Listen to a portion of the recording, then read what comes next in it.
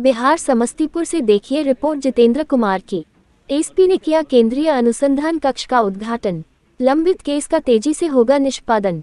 समस्तीपुर जिला पुलिस ने कांडों के निष्पादन में तेज़ी लाने के उद्देश्य से जिला पुलिस कार्यालय में सेंट्रल इन्वेस्टिगेशन रूम रविवार को किया उद्घाटन। इस केंद्र में सुबह सात से दिन के दस बजे तक एक साथ कांडों के आयो इंस्पेक्टर, डीएसपी व एसपी रहेंगे मौजूद। इसके लिए जिला पुलिस की टीम ने तेरह थानों का चयन किया है। एक दिन में दो थानों के कांडों की समीक्षा होगी। इस दौरान शेड्यूल के अनुसार वैसे पीड़ित भी सेंट्रल इन इन्वेस्टिगेशन रूम में आ सकते हैं जिनका केस लंबित है और उन्हें लग रहा है कि उन्हें न्याय नहीं मिल रहा। एसपी विनय तिवारी ने बताया कि समस्तीपुर ज़िले के ऐसे तेरह थानों का चयन किया गया है, जिसमें नगर थाना, मुफस्सिल, कल्याणपुर, चकमेहसी, पूसा दल सिंह सराय उजियारपुर, पटोरी, ताजपुर मोहिउद्दीनगंज मोहनपुर, ओपी मुसरी घरारी एवं सराय, रंजन। जहाँ लंबे समय से कांड लंबित चल रहे हैं और पीड़ितों को न्याय नहीं मिल रहा है। उन्होंने बताया कि एक दिन में दो थानों के कांडों की होगी समीक्षा। एसपी विनय तिवारी ने बताया कि इस इन्वेस्टिगेशन रूम में एक साथ दो थानों के कांडों की समीक्षा होगी। उस थाने से संबंधित कांडों के आयोग, सकिल इंस्पेक्टर, अनुमंडल पुलिस पदाधिकारी और एसपी खुद मौजूद रहेंगे। कांडों के अनुसंधान में क्या दिक्कतें आ रही हैं, कांड का अनुसंधान क्यों नहीं हो पा रहा है? इन सभी बिंदुओं पर समीक्षा कर कांड का निष्पादन कराया जाएगा। इस दौरान पीड़ित पक्ष भी सेंट्रल इन्वेस्टिगेशन रूम में आकर अपनी बातें रख सकते हैं। अभी ज़्यादा लंबित कांडों वाले तेरह थानों का चयन किया गया है। चयन उपरांत थानों का शेड्यूल जारी कर दिया गया है, ताकि आम लोगों को परेशानी ना हो। एसपी ने बताया कि इस रूम की शुरुआत से ज़िले में वर्षों से लंबित चल रहे कांडों के निष्पादन में पुलिस पदाधिकारी को सहूलियत होगी। वही पीड़ितों को न्याय मिल सकेगा। न्याय के लिए लोग थाना और पुलिस कार्यालय का चक्कर लगाते रह जाते हैं, लेकिन कभी पुलिस पदाधिकारी नहीं मिलते तो कभी थाने में अधिकारी नहीं मिलते। एसपी कार्यालय में वरीय अधिकारी के आदेश की कॉपी अब सीधा फरियादी को दी जाएगी। एसपी विनय तिवारी ने बताया कि जिला पुलिस द्वारा नई व्यवस्था लागू की जा रही है, जिसके तहत वरीय पदाधिकारी के यहाँ आकर शिकायत दर्ज कराने वाले लोगों को अवधेश की कॉपी के लिए थाना का चक्कर लगाना नहीं पड़ेगा। उन्हें अब तत्काल आदेश किए गए निर्देश से संबंधित पत्रवादी को हाथों हाथ दी जाएगी, ताकि वह उस आदेश की कॉपी को लेकर सीधा थाना जा सके। मौके पर सदर डीएसपी संजय कुमार पांड्य, मुख्यालय डीएसपी अमित कुमार सिंह दल सिंह सराय डीएसपी अरविंद कुमार पांडेय, रोसड़ा डीएसपी शिवम कुमार एवं पटोरी डीएसपी रविशंकर प्रसाद के अलावा अंचल पुलिस निरीक्षक पटोरी अरुण कुमार राय, मुफस्सिल थानाध्यक्ष सुरेंद्र कुमार सिंह, नगर थानाध्यक्ष विक्रम आचार्य आदि पुलिस पदाधिकारी मौजूद थे। हम लोगों ने जो कुछ दिन पहले बताया था कि इन्वेस्टिगेशन को लेकर के एक रणनीति हम लोग बना रहे थे।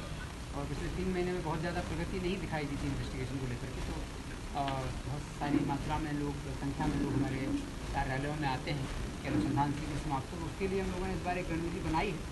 सेंट्रल इन्वेस्टिगेशन रूम सम कलेक्ट्रेट के सभागार में बनाया है। सुबह सात बजे से लेकर ग्यारह बजे के बीच में कार्य करेगा।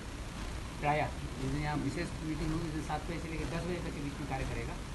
और अनुसंधानकर्ताओं को जो समस्याएँ होती हैं तो अनुसंधानकर्ताओं को सपोर्ट करने के लिए अनुसंधानकर्ता और सर्किल इंस्पेक्टर्स हमारे जो हैं, वो केस में कॉम्प्लेक्स डिसीज़न लेने होते हैं और अनुसंधानकर्ता को सही समय पर सही दिशा निर्देश नहीं मिल पाते हैं।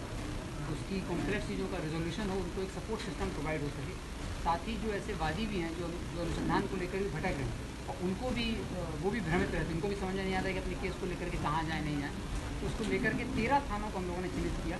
जिन तेरह थानों में बहुत ज़्यादा केसेस पेंडिंग है, इन केसेस को चिन्हित किया गया है और जिला स्तरीय सेंट्रल इन्वेस्टिगेशन रूम बनाया है कि इन तेरह थानों के सभी अनुसंधानकर्ता, ज़िले के सभी इंस्पेक्टर्स यहाँ उपस्थित रहेंगे, साथ में एस डी उपस्थित रहेंगे और मैं उपस्थित रहेंगे। पूरी टीम मिलकर के इन अनुसंधानकर्ताओं को सपोर्ट करेगी, उनको अगले डायरेक्शन देगी, क्या करना है, उनकी मॉनिटरिंग भी करेगी वो अपना कार्य कर रहे हैं कि नहीं कर रहे हैं।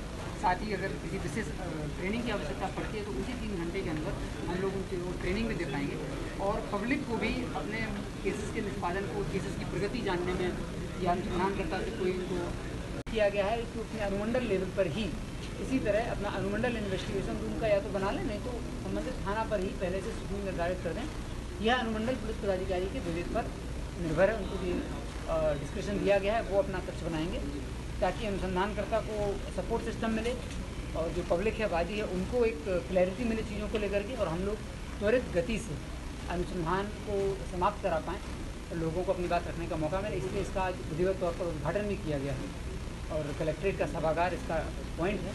डी एस पी हेडक्वार्टर इसके नोडल हैं और एस भी यहाँ रहेंगे और हम लोग चाहेंगे कि अगले तीन से चार महीने में हम लोग एक टीम की तरह कार्य करते हुए काफ़ी संख्या में केसेस का निष्पादन कर पाएँ ताकि लोगों को समय में न्याय सर अभी कितने केस लंबित हैं?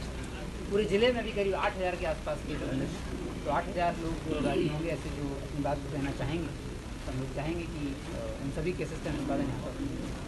तो सर इसमें ज़्यादातर प्रायोरिटी किस केस के दिया गया?